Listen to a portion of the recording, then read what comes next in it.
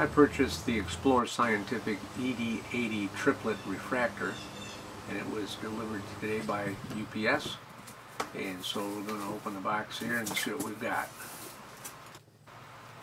This particular telescope comes with a hard case, hard travel case and uh, it's surrounded in the cardboard box here by a layer of dense foam received everything in good condition. And there's some nice locking mechanisms on the side of the case.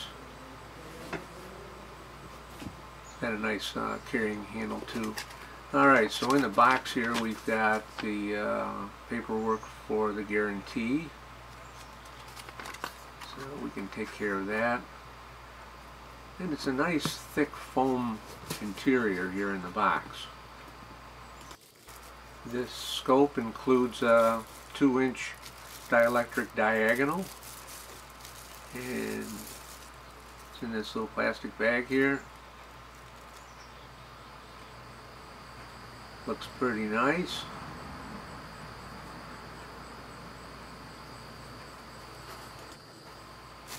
This is the first refracting telescope that I've owned and I wanted the 80 millimeter scope because it's uh, a good travel scope. Very lightweight, compact, and it comes in this nice case. I plan to use the scope for nighttime viewing of course, but uh, also for daytime terrestrial viewing. I enjoy wildlife photography and uh, I live in a real scenic area. So I should get some beautiful images through this scope.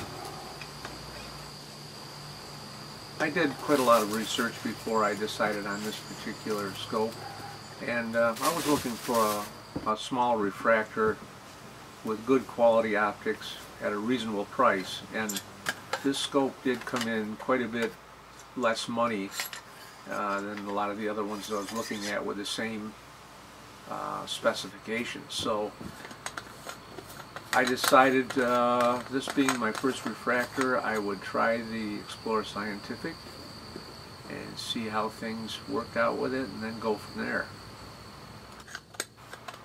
I was surprised that Explorer Scientific doesn't include uh, any any booklet or manual of any type with the telescope it's nice when you purchase something new like this to have some kind of uh, instructions for just basic uh, setup and operation. So we'll put the diagonal in here and uh, there's three little set screws that lock things down. Yeah, normally it's just good business practice to include a letter, thank you for buying our product and so on and uh, just kind of go over the, the basics of the scope. I discovered uh, on the back side here on the focuser there's these two uh, screws that lock things down. There's a rubber band there that you need to pull off in order to loosen up the uh, adjustments so you can you can use the focuser. And this focuser appears to be very nice, very smooth. It's a dual speed. I've never uh, owned a telescope with a dual, dual speed focuser, so this is going to be nice. I'll flip it around here so you can see the bigger knob is the, the faster speed.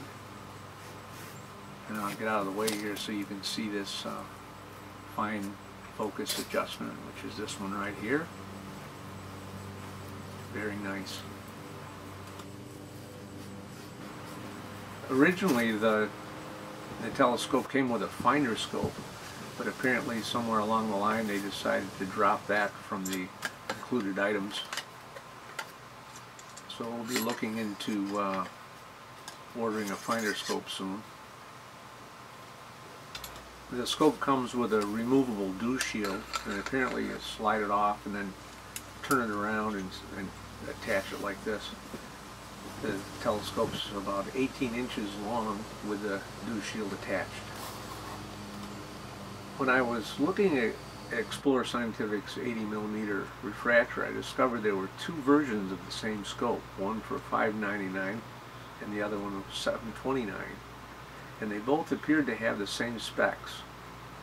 This one is the TED model, and then the more expensive one is the Essential, the ES model.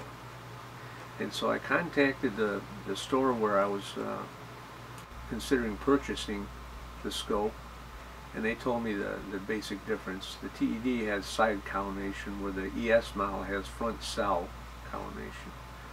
Uh, there's a Crayford focuser on the cheaper one and an R&P focuser on the uh, ES model and the Crayford does not have removable extensions where the uh, ES model has two removable extensions. The dew shield on the TED model is removable and the one on the uh, ES model is retractable. And finally there's a travel case that comes with a cheaper scope but the travel case is not included in the ES model. Otherwise, the specifications are exactly the same for both telescopes. So, I'm not quite sure what I've done here, but um, as soon as I get a new uh, eyepiece for the telescope, we'll give it a try and I'll post another video.